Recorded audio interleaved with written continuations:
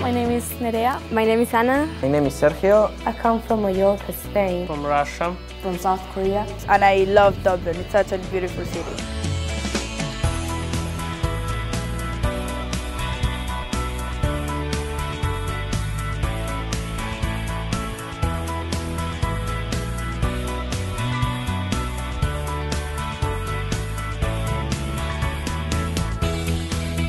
I think the system is better here. They make us work more.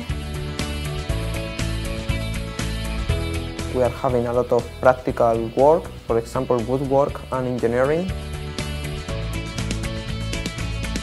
And also they encourage you to study all day long.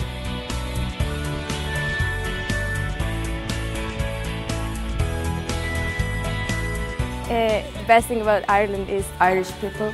the fish and chips. Freedom and to be without your parents. And it gives you a chance to mature.